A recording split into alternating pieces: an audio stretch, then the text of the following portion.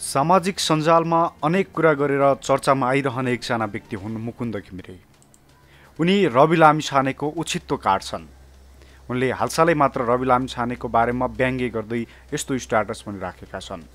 आफ्नै स्वास्नीका गोप्य फोटो छाप्ने रेबिज लामिछानेहरू भोगमरीमा बहुलाएर आफ्नै नाक काटेर खानेहरू सर्वसाधारणको डेटिङमा छापा हान्नेहरू को हो? अमेरिकाबाट नेपाल टाप हान्ने को हो? छोरीको बिहे गर्न बित्न लागेको छ बाउ फेरि सुनबुढीका खुट्टा मिच्न लागेको छ भनेर मुकुन्द घिमिरेले पोस्ट गरेका छन्। पछिल्लो समय मुकुन्द घिमिरे र सावित्री सुवेदीलाई समाजले पागल पागलनी बौला बौलाइनी लगायत विभिन्न उपनामहरू दिँदै आइरहेको छ। विभिन्न नामहरू दिँदै आइरहेको समाजले उनीहरूलाई यतिखेर सामाजिक सञ्जालमा जोडीको रूपमा प्रस्तुत गरेका छन्। पछिल्लो समय मुकुन्द घिमिरे र सावित्री सुवेदी जो आफूलाई नारीवादी अभियन्ताको रूपमा परिचित गराउन चाहन्छन्। उनी र मुकुन्द घिमिरेलाई जोडेर अहिले सामाजिक सञ्जालमा विभिन्न किसिमका फोटोहरू सार्वजनिक भइरहेका छन्। अमेरिकाबाट नेपाल फर्किएका रविराम छानेले नेपालमा सिधा कुरा जनतासँग चलाएर अत्यन्त लोकप्रिय काम गरिरहेका छन्। हरेक नेपालीको ढुकढुकी बनिसकेका रवि लामी छानेलाई मुकुन्द घिमिरेले सधैँ खोइरो काट्ने गरेका छन्। मुकुन्द घिमिरेले खोइरो काटिरहँदा र सावित्री सुवेदीले रवि लामिछानेको बारेमा तथा नाम बोलिरहँदा पनि रवि लामिछाने भने चुप छन्। सावित्री सुवेदीले हालसालै एक अनलाइन मिडियामा दिएको अन्तर्वार्तामा रवि लामिछानेको उचित्तो काटेकी छिन्। उनको भनाइलाई लिने हो भने साँच्चै नै दुःखदायी भनाइ छ। एउटा सामाजिक अभियन्ता भनेर आफूलाई चिनाउने व्यक्तिले त्यो किसिमको शब्द उच्चारण गर्नु आफैमा पनि शोभानीय चाहिँ थिएन।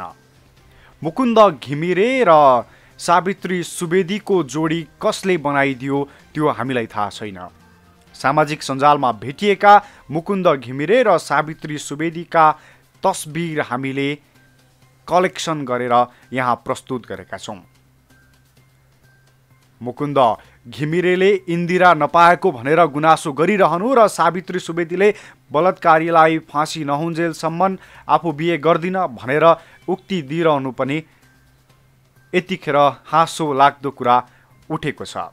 किनकि यी तस्बिरहरू नै त्यस्तै छन् जसले तपाईँलाई हँसाउँछन् तपाईँको ओठमा हाँसो लिएर आइदिन्छन्।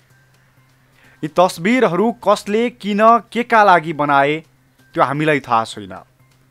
हामी यति चाहिँ भन्न सक्छौँ कसैको अनुमति बिना सायद त्यसरी तस्बिरहरू गाँसेर बनाइदिनु आफैमा पनि एउटा अपराध पो हो कि?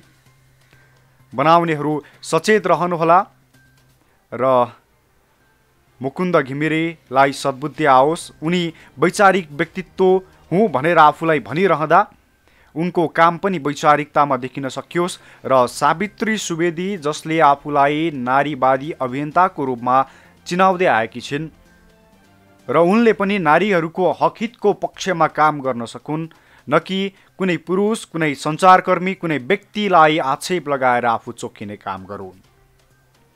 हामी सावित्री सुवेदीलाई र मुकुन्द घिमिरे दुवैलाई सद्बुद्धि आओस् सत्कर्ममा लाग्न भगवान्ले प्रेरणा दिउन् भनेर कामना गर्दछौँ। यही कामना सँगसँगै यदि तपाईँलाई मुकुन्द घिमिरे र सावित्री सुवेदीको बारेमा केही अरू कुराहरू पनि जान्न मन छ र केही भन्न मन छ भने कृपया कमेन्टमा छोड्नुहोला। तपाईँले दिनुभएको सल्लाह सुझाव अनुसार हामी यथोचित प्रयास गर्नेछौँ तपाईँहरूको जिज्ञासा तपाईँहरूको सुझावलाई ग्रहण गर्नका लागि। अहिलेसम्म हेरिदिनुभयो त्यसको लागि धेरै धेरै धन्यवाद। कृपया च्यानललाई सब्सक्राइब गर्नुहोला।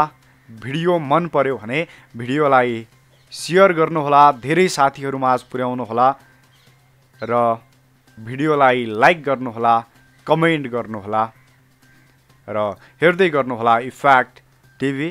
अनि तपाईँलाई इफ्याक्ट टिभीले कस्तो काम गरिदिए हुन्थ्यो कस्ता भिडियोहरू बनाइदिए हुन्थ्यो जस्तो लाग्छ। त्यो पनि कमेन्ट गर्न नबिर्सनुहोला।